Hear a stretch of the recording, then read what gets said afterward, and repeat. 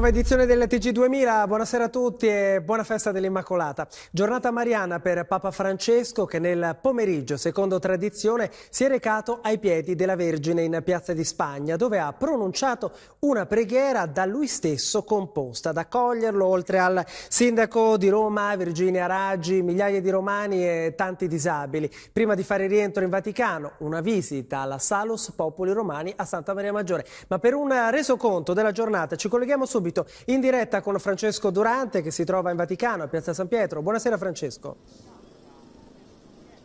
Buonasera Fabio, a te e ai nostri telespettatori. Come hai detto tu, una giornata eh, prettamente mariana per Papa Francesco e non poteva essere altrimenti nella solennità dell'Immacolata Concezione di eh, Maria. Questo pomeriggio il tradizionale omaggio floreale alla Vergine in piazza di Spagna, accompagnato da, uh, dalla preghiera, una preghiera appositamente composta da Francesco, una preghiera in particolare per i bambini, per le famiglie, per i lavoratori. Poi, prima del rientro in Vaticano la sosta in un luogo eh, tanto caro al pontefice, ovvero la Basilica di Santa Maria Maggiore, mentre questa mattina l'Angelus Francesco ha messo in guardia da quei mezzi sì che a volte noi diciamo al Signore, chiudendo così la porta al bene, quei eh, mezzi sì contrapposti al sì più importante della storia, quello di Maria, il sì disponibile che ribalta l'egoismo del peccato, quel peccato che ci invecchia dentro e che ci fa invecchiare presto, ma per la cronaca dell'intera giornata di Papa Francesco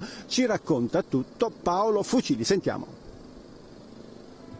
La Focus di Francesco arriva a Piazza di Spagna sul Far del Tramonto, attesa da sindaco e cardinale vicario di Roma. Non vengo solo, il Papa prega con parole da lui stesso composte per oggi, solennità dell'Immacolata Concezione. Porto con me i bambini soli, le famiglie affaticate, i senza lavoro. È l'appuntamento che oggi si rinnova dal 58 preghiera e omaggio floreale del Papa all'Immacolata che svetta sui palazzi del centro di Roma, sulla frenesia dello shopping prenatalizio cala il silenzio.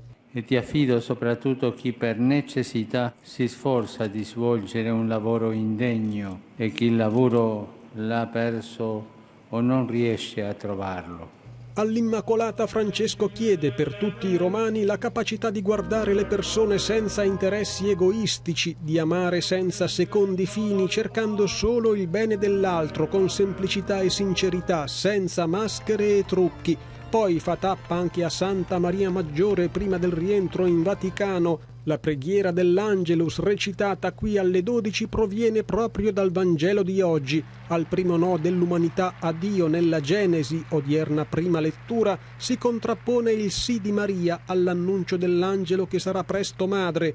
Un sì pieno, Francesco sottolinea, totale, per tutta la vita, senza condizioni. Noi invece... Siamo esperti nei mezzi sì siamo bravi a far finta di non capire bene ciò che Dio vorrebbe e la coscienza ci suggerisce. Invece ogni sì pieno a Dio, il Papa conclude, è origine di una storia nuova, non i nostri mediocri scusa, non posso, domani. Non il peccato che ci fa vecchi dentro. Ma avete pensato questo? Che il peccato ci invecchia da dentro, ci invecchia presto.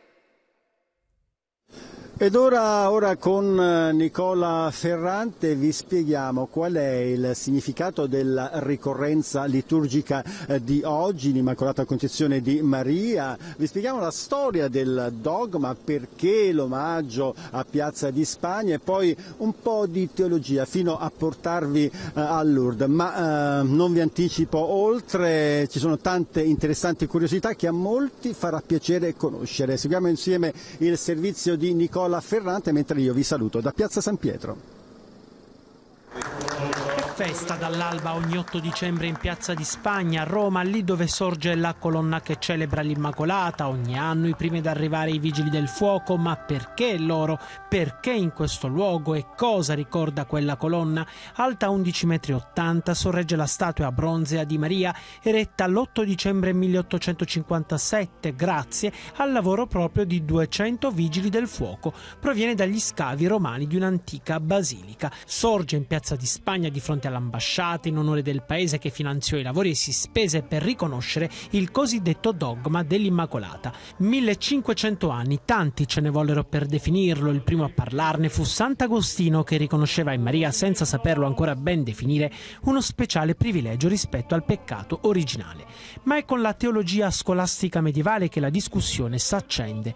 Il nodo riguarda il concepimento di Maria, attenzione, non il frutto virginale del suo seno, cioè Gesù, come molti ancora oggi confondono, ma la concezione di lei stessa, l'attimo cioè in cui fu generata dai genitori Anna e Gioacchino. Sin da quel momento, 40 settimane prima, cioè della nascita di Maria, lei era già pensata dal cielo senza ombra di peccato originale. I teologi si divisero per secoli su questo fino a una vera e propria disputa tra francescani e domenicani, i primi più propensi a riconoscere lo speciale privilegio mariano, gli altri pronti a invocare perfino l'eresia.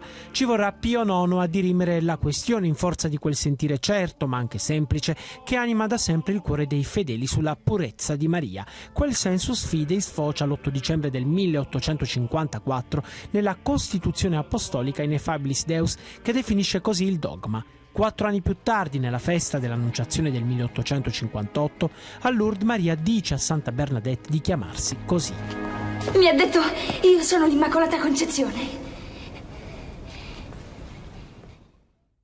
Ed ora ci occupiamo della crisi di governo perché il Presidente della Repubblica, Sergio Mattarella, ha avviato pochi minuti fa le consultazioni per scegliere la personalità a cui affidare l'incarico per la formazione del nuovo esecutivo. Andiamo subito in diretta dal Quirinale con Augusto Cantelmi. Buonasera Augusto, gli ultimi aggiornamenti. Buonasera, buonasera, allora dopo aver presentato eh, le dimissioni accettate con riserva dal capo dello Stato Mattarella sono iniziate le eh, consultazioni. Eh, poco fa abbiamo visto eh, la macchina del Presidente del Senato che ha lasciato il Quirinale dopo eh, l'incontro con il capo dello Stato eh, Mattarella. in questo momento invece è in corso l'incontro tra Mattarella e il Presidente della, Presidente della Camera Boldrini anche lei subito dopo non dovrebbe eh, rilasciare dichiarazioni come ha fatto già il Presidente eh, Grasso, eh, come da prassi. Ultimo incontro della serata invece è quello tra il Presidente Mattarella e il Presidente Merito Napolitano. Vediamo se il Presidente Merito lascerà delle dichiarazioni, quantomeno ci potrebbe far capire come potrebbe risolversi questa crisi. Domani ci saranno tutti i gruppi più piccoli, giornata a cui invece quella di sabato dove ci saranno i, gruppi più grandi, i partiti più grandi, in finale quello, il Partito Democratico, il partito eh, del, eh, del, Presidente del Consiglio dimissionario Matteo eh, Renzi. A quel punto cercheremo e si capirà forse qualcosa in più eh, su come questa crisi potrebbe eh, essere eh, risolta. Allora andiamo a vedere con questo servizio quali gli scenari possibili e poi la linea può tornare allo studio. Consultazioni senza fretta e se il quadro dovesse restare confuso, pronto anche un altro giro di incontri dal Quirinale, arrivano segnali di procedere con calma, senza strappi, per trovare una soluzione alla crisi. Al momento sono tre le ipotesi in campo, un governo di larghe intese, uno istituzionale oppure un reincarico a Renzi. Quest'ultima ipotesi sarebbe in queste ore la più percorribile, la più gradita al colle, con Renzi alla guida di un governo politico politico che faccia la legge elettorale per andare al voto a primavera, se non a fine legislatura nel febbraio 2018. Scettico alla soluzione del reincarico sarebbe proprio Renzi che vorrebbe sfilarsi perché sente crescere la fronda interna al suo partito e teme di ritrovarsi sulla graticola di un governo attaccato dall'interno e dall'esterno. Due le vie d'uscita indicate invece dal premier dimissionario già nella direzione di ieri, elezioni subito dopo la sentenza della consulta sull'Italicum attesa il 24 gennaio o un governo di responsabilità nazionale con una maggioranza larga. Ma dagli altri partiti arriva un coro di no al governo di larghe intese, con richieste invece di voto subito, almeno a parole, a parte Salvini che lo vuole subito, o forse anche il Movimento 5 Stelle, il ritorno immediato alle urne spaventa e non poco. Intanto le famiglie italiane appaiono sempre più in affanno. A pesare in particolar modo sui bilanci sono soprattutto le rate del mutuo e dell'affitto di casa. Mai state così tante, secondo gli ultimi dati Istat e per gli arretrati è record. Letizia Davoli. Il 5,4% delle famiglie in Italia non riesce a pagare l'affitto o il mutuo. A lanciare l'allarme l'Istat, secondo cui nel 2015 la situazione economica delle famiglie italiane si è avvicinata sempre più a rischio povertà. La maggiore difficoltà riguarda proprio le spese obbligatorie, quindi mutui e affitti. Un dato record dal 2004, quindi da almeno 12 anni, che mette in chiaro come quasi il 60% dei nuclei familiari giudichi pesante il carico delle spese da versare alla banca o al proprietario della casa in cui si vive. D'altra parte l'esborso per stare sotto un tetto rappresenta uno dei capitoli principali delle uscite per le famiglie italiane che hanno acceso un mutuo con un costo medio di 586 euro mensili o che sono in affitto con un costo medio di 431 euro. A fare maggiore fatica il sud, i maggiori debitori gli under 35, i pensionati quindi sono quasi in regola rispetto ai giovani, soprattutto se disoccupati. Male anche il risparmio. Secondo l'Istat sono ben poche le famiglie che riescono a mettere da parte qualcosa, appena una su tre. Anche in questo caso la percentuale più bassa degli ultimi 12 anni. A Milano si sta svolgendo in questi giorni la più grande fiera dell'artigianato. Qui trovano spazio anche le aziende delle zone colpite dal terremoto. Luciano Piscaglia ha raccolto le speranze e la voglia di ripartire di questi artigiani. È la più grande mostra mercato mondiale dell'artigianato, ospita più di 3.000 espositori di più di 100 paesi. Quest'anno però la grande Kermesse ha voluto dare uno spazio privilegiato ad una zona dell'Italia al momento in grande sofferenza. Nei padiglioni italiani alcuni stand sono stati contrassegnati da un marchio, quello che indica un'azienda che proviene dalle zone del recente terremoto, Umbria, Marche e Lazio. Sono una quarantina e sono state ospitate gratuitamente da Artigiano in Fiera, impegnate in una difficile rinascita nascita, alcune sono presenti con uno stand, altre solo con i loro prodotti. Innanzitutto per la vitalità del nostro caseificio, perché facendo così promuoviamo il prodotto, la gente ci conosce, conosce il prodotto. Seconda cosa perché praticamente aiutiamo un po' tutto diciamo, l'area comprando, perché noi compriamo latte dai pastori lì intorno, quindi sosteniamo un'economia locale. È più importante perché abbiamo ancora più bisogno di incremento, perché da noi adesso ci sarà sicuramente più crisi, meno vendite sicuramente nelle nostre zone la gente fa meno di spendere anche su un paio di scarpe. Cercavano un mercato per i loro prodotti, per provare a ricominciare ancora una volta. Hanno trovato l'abbraccio e la solidarietà di tanti artigiani come loro e soprattutto di centinaia di migliaia di visitatori. Ci sono allevamenti che non esistono più, ci sono stalle anche in cemento armato che non esistono più. Immaginate che cosa può avere dentro un allevatore del genere come forza d'animo. Però il popolo di Amatrice è forte e non si arrende. Abitiamo dentro un container, quindi tragare le conseguenze mangiamo all'esercito, quindi sarà Natale penso un po', però vabbè, piano piano il prossimo anno faremo un Natale più felice. Ora invece la cronaca, ci spostiamo in Calabria, nella piana di Gioia Tauro, fiamme nella tendopoli che accoglie in condizioni molto precarie oltre mille migranti utilizzati come braccianti. Da tempo si pensa ad una soluzione, ma senza risultati. Ci voleva poco perché l'incendio sviluppatosi nell'area industriale di San Ferdinando nei pressi del porto di Gioia Tauro in Calabria si trasformasse in un evento ben più tragico per un migliaio di immigrati che vivono qui accampati. Una decina le baracche bruciate, tra cui quella di Bita Chiesa dove ogni domenica veniva celebrata la messa e due persone rimaste leggermente ferite. Questo è il bilancio del dell'arrogo divampato nella notte tra martedì e mercoledì e prontamente domato dalle forze dell'ordine, come racconta un testimone. Perché allora arrivo di notte alle 2 aiyoto jintukiwe c'è vigile di fuga c'è eh, polizia c'è ambulanza tutti gente e viene aiutare le gente qui veramente loro grazie Sarebbe stata una fiamma accesa per difendersi dal gelo ad attaccare una delle baracche per poi espandersi a quelle vicine, occupate dai lavoratori stagionali impegnati nella raccolta delle arance. Io sono venuto qui per campagna. Se si campagna qui è, è finito e è andato altra campagna a cercare lavoro. È una situazione a dir poco precaria quella del campo di San Ferdinando. Le tende del Ministero dell'Interno non bastano ad accogliere tutti, così ci si arrangia come si può, costruendo ripari con cartone, legno e pure lastre di Eternit. Si vive ammassati, con le tensioni che ne seguono e un degrado che non aiuta. La prefettura di Reggio Calabria da mesi al lavoro per trovare una soluzione alternativa, ma il come, il dove e il quando non sono ancora chiari E intanto si resta qui, con quello che ne consegue, e per stavolta è andata bene. Parrocchie aperte sul fronte dell'accoglienza. Sono 123 i migranti richiedenti asilo e protetti internazionali che sono stati ospitati in 40 parrocchie e istituti religiosi di Roma. Lo si evince dal dossier informativo Caritas dei progetti di accoglienza della Chiesa di Roma nell'ambito del Giubileo della Misericordia. 57 i migranti accolti nel programma di prima accoglienza realizzato dalla Caritas diocesana in collaborazione con la Prefettura. 66 in seconda accoglienza con i programmi di inserimento socio-lavorativo. Migranti in fuga da terre logorate dai conflitti come la Siria, dove le forze governative hanno conquistato Aleppo Est. È una vittoria ma non significa la fine della guerra, dichiara il presidente Assad. E la Croce Rossa, dopo gli attacchi agli ospedali, porta in salvo oltre 100 feriti gravi, come ci racconta Antonio Soviero erano da giorni intrappolati in un ex ospizio all'interno della città vecchia di Aleppo, ieri conquistata dalle forze fedeli al regime di Damasco. E da oggi 148 civili in gravi condizioni di salute, soprattutto anziani, sono stati trasferiti dai volontari della Croce Rossa nella parte ovest della città. Sono più di 100.000 le persone bloccate dal fuoco incrociato nei quartieri orientali sotto assedio. Cibo e medicine sono introvabili e non c'è un ospedale dove portare i feriti.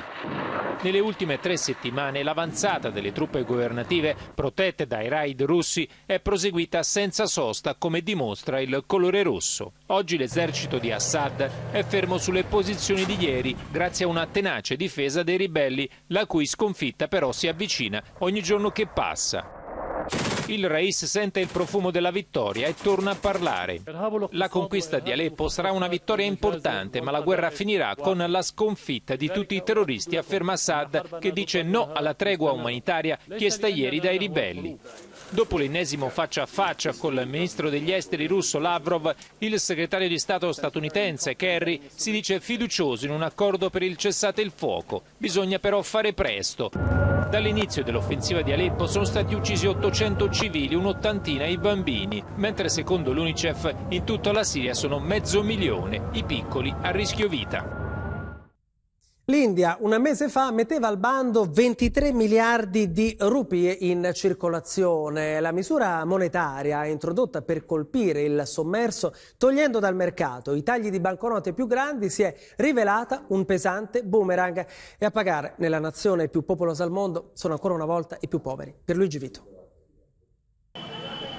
Gente in fila per giorni interi davanti alle banche e agli sportelli bancomat, milioni di poveri costretti alla fame, centinaia di persone disperate, vittime del caldo, della stanchezza e dell'esaurimento nervoso, qualcuno colpito da infarto, c'è stato persino un suicida.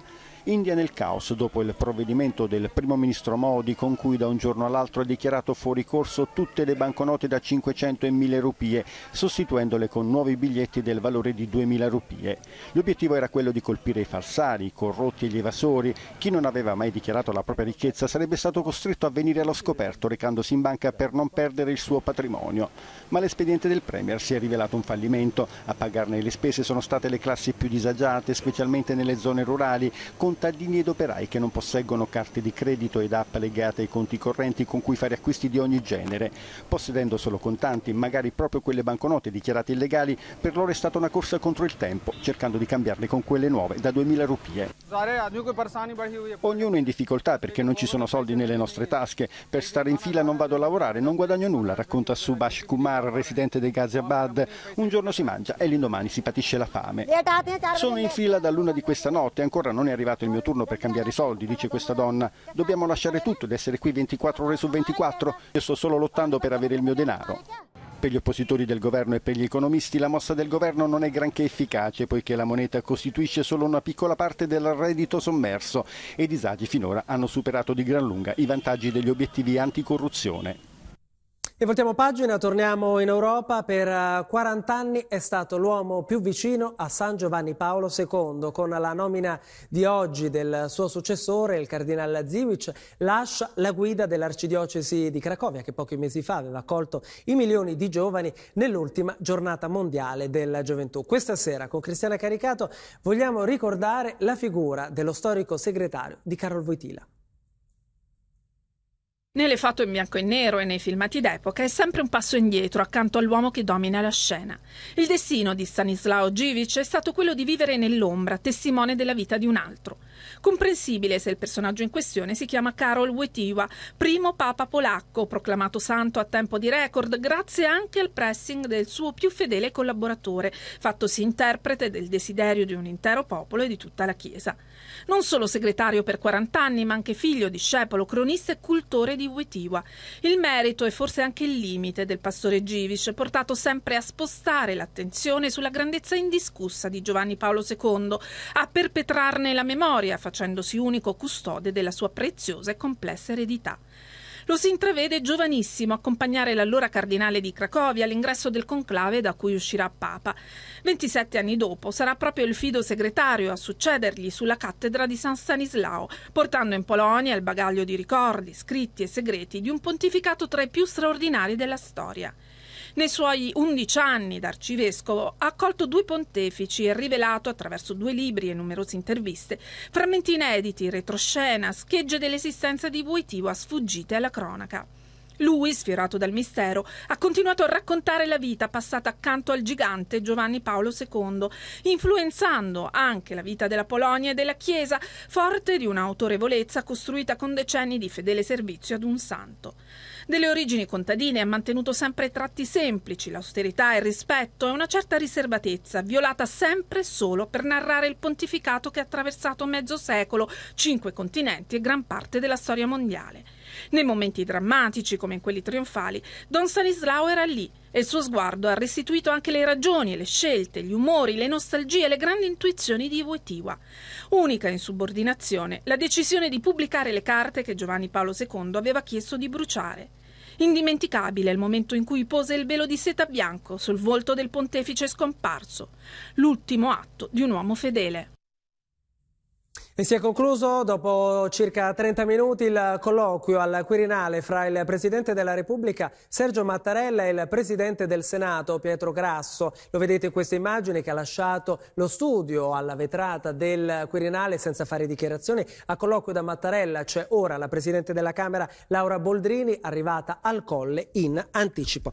E vi lascio ora al post del TG2000 con la storia di Andrea Pio, un bambino di 6 anni che vive nella terra dei fuochi in Campania, affetto da una malattia così rara che i medici all'inizio l'hanno chiamata con il suo nome. Si cura a Firenze e il, alla, e il, suo papà è alla ricerca di un lavoro nel capoluogo toscano per stargli vicino. Noi torniamo alle 20.30 con i nuovi aggiornamenti del TG2000. Grazie per averci seguito, a dopo.